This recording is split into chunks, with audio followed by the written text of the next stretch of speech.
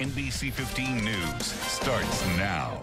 Hello, I'm Amy Flukesop. Thanks for joining NBC 15 News on the web. Here's a look at the stories we're following for you today. In our continuing coverage, if you were driving on Interstate 9094 Sunday afternoon, authorities want to hear from you. Investigators are trying to get more information on the drive-by shooting near Wisconsin Dells. A woman and her family were driving home from the Dells and attempted to pass a Chevy Blazer. Investigators say the driver of the Blazer rolled down his window and fired three rounds into the vehicle.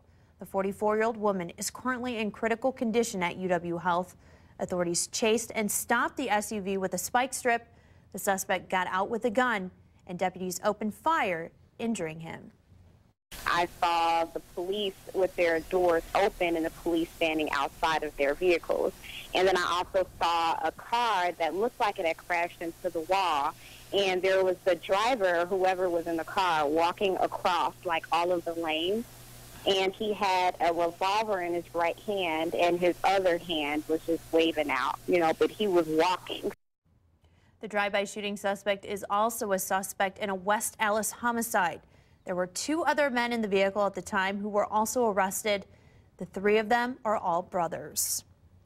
One of three men who may have witnessed a homicide outside of O'Grady's Irish Bar and Grill in Madison has been arrested. 35-year-old Billy Richmond was wanted on charges unrelated to the homicide. Martise Moore was shot and killed outside O'Grady's last month.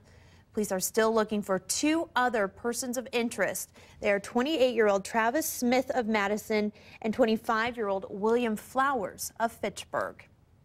And the Badgers will play two games under the lights at Camp Randall this upcoming season. Both will be conference games. One will be October 15th against Ohio State. They will also host the Huskers for a night game on October 29th.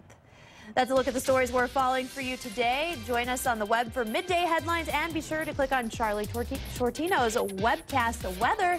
Have a great one, guys.